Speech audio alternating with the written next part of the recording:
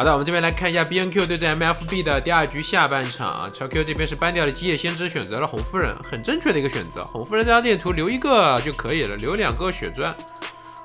呃，加上红夫人本身超 Q 的一个熟练度非常的高，应该不会出现特别大的问题。这一局求生者想要四跑，只有一个点，就是冒险家前期能够苟很久啊，苟很久，就算找到个前锋，我硬追前锋都行。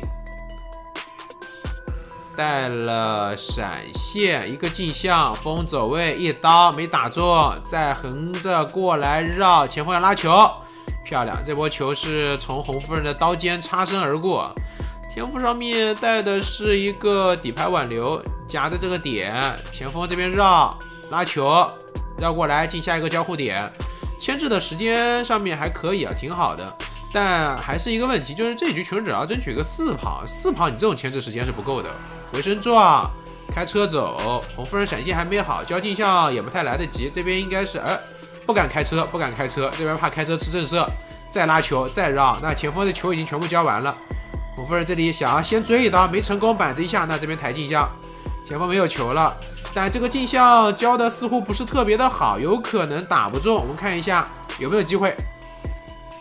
没机会，前锋拉到前面进不了板呀，这里进不了板，跟你绕绕绕到板子，闪现一刀，闪现开第一刀，然后镜像头带走这个前锋，那这个前锋已经是算是已经溜得非常的完美了啊，溜得非常完美了。当然超 Q 第二个镜像没交好也是有有一定的原因啊，本来那镜像前锋可能要倒的，呃，可能要吃刀的，这个位置架住的话应该是没了，呃，看一下。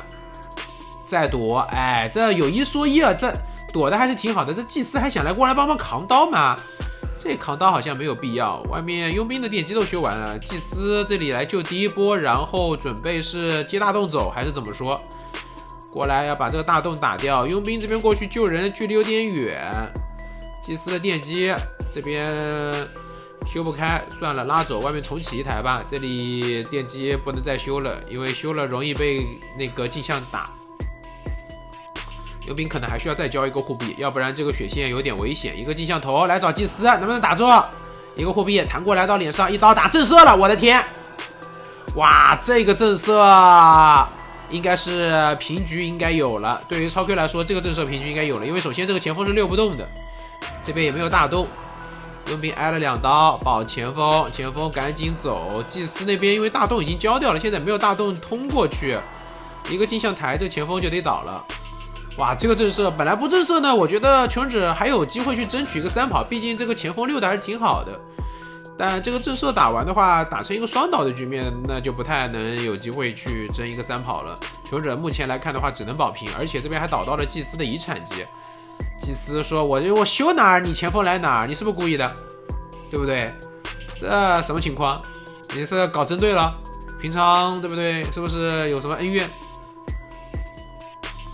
呃，冒险家现在不管，管自己修。祭司要救一波人，救一波人能救就能救，关键就是电机不够啊，电机不够，电机不够呢，三十秒之后闪现都有了。这前锋再能溜，给你再长两条腿，移速给你加加个百分之二十，你也不一定溜得动啊，这是实话。一个镜像台，你这边就得打。哎，这个镜像吸到了祭司身上，祭司扛了一刀。那也行吧，只要超 Q 这边不要换挂，对吧？硬追这个前锋，十秒钟以后闪现了，我看你怎么逃出我的五指山。哎呀，这个镜像切过去就好了。好，这个位置前锋，哎，我这边闪下来一刀带你走。哇，超 Q 这里好稳啊，不交上闪，不交这个闪，前锋这边一个拉板加速，那要交镜像了。外面我们盘下电机啊，佣兵这台电机百分之六十，一个镜像，前锋人没了，挂飞啊。挂飞以后，祭司这边交自摸起来了，也就是说这局有两个交掉自摸的，那这把抽 Q 还不一定平局呢，还有机会争取一个三抓，因为两个交掉自摸的，对吧？我这边把你佣兵护臂一号开门战就随便抓一个谁都是没自摸的，他这里是不想抓这里的佣兵，觉得佣兵有护臂不好搞。冒险家好像，因为我们没有注，因为没有给他镜头啊，不清楚他有没有输液。输液有，那一刀输液，那佣兵的电机能点开。开门战的话，追谁？佣兵两个护臂满血，冒险家吧。选择的话还是选择冒险家。这里要吃一刀冒险家，可别交个闪什么的。我们盘一下地窖，地窖在哪里？地窖的一个位置在河边。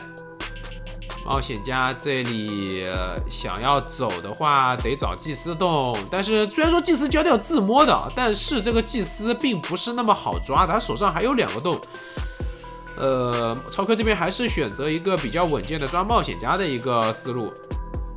那差不多，这边祭司贴好门，冒险家这里一翻，电机就要亮了，不能说是对吧？特别拖的特别久。看一下电机还不亮吗？硬要吃一刀。嗯。这里再绕，再上楼，看一下，一刀打，电机点开，然后往外一走，没有什么可以利用的点啊。刚才如果说强行这个冒险家不要回头，强行往车站走，会不会有那么点机会呢？车站走，然后车开到二站跳地窖什么的。因为你在这个地方绕，人家是有闪现的，对吧？那超哥这把打下来一个平局也够了，算是完成任务了，非常优质的完成了这个任务，对吧？本来他只要留一个，现在留了两个，对吧？队伍里面打了一个五分的优势，那下一局只要抓一个留一个，MFB 就可以晋级最后的那个四进一的总决赛了。